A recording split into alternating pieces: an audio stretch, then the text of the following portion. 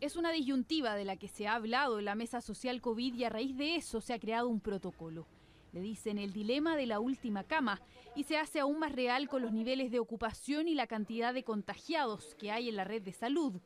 ¿Cómo elegir entre un paciente u otro y entregar prioridad a la hora del tratamiento contra el COVID?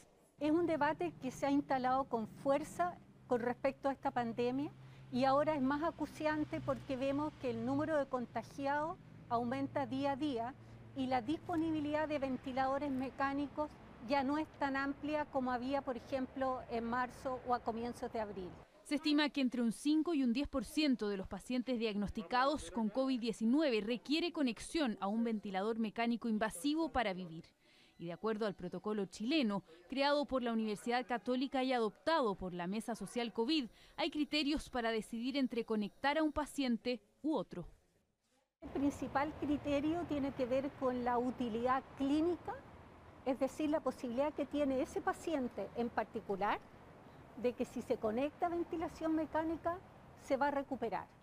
El debate se vivió con fuerza en países como Italia, España y Estados Unidos, donde en muchos casos la edad fue el factor determinante. Los más jóvenes eran atendidos con prioridad por sobre los ancianos, porque tenían más posibilidades de sobrevivir. En Chile la propuesta es que la edad no debe ser un criterio en sí mismo, sino las posibilidades de vida de ese paciente una vez conectado al ventilador. Quien tenga más opciones sería el candidato para la última cama.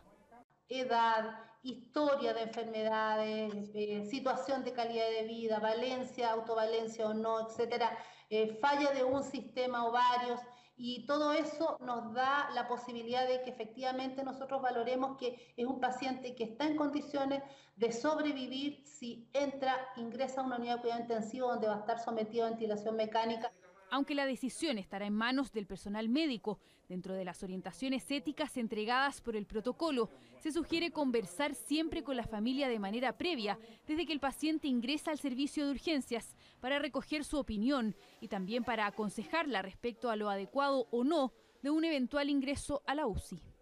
En la medida en que los recursos son más bajos, uno tiene que ser mucho más acucioso en hacer este juicio, porque ya no podemos, por si acaso, no podemos dar tratamiento ante la eventualidad que tal vez a lo mejor mejore.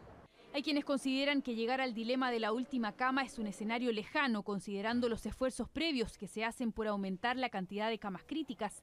Incluso las medidas de confinamiento podrían estar ayudando. Las cifras dicen que el 13 de mayo recién pasado, cuando se anunció la cuarentena total en el Gran Santiago, había 1.067 pacientes conectados a ventiladores mecánicos invasivos y quedaban 1.853 disponibles.